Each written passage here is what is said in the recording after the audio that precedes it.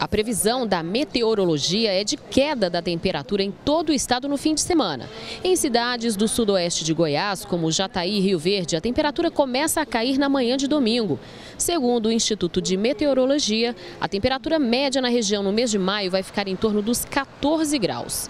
E isso graças a uma massa de ar frio de origem polar que vem do sul do país. Há uma tendência em relação ao ano passado de sentir um pouco mais de frio, pensar que esse ano vai estar mais frio, porque está chegando mais em maio, né? Quem foi a pecuário ano passado até reclamou que não teve frio. Em Goiânia, a frente fria deve chegar na tarde de domingo, abaixando a temperatura. A mínima prevista é de 12 graus na madrugada de segunda-feira e a sensação térmica deve ficar entre os 9 e 10 graus.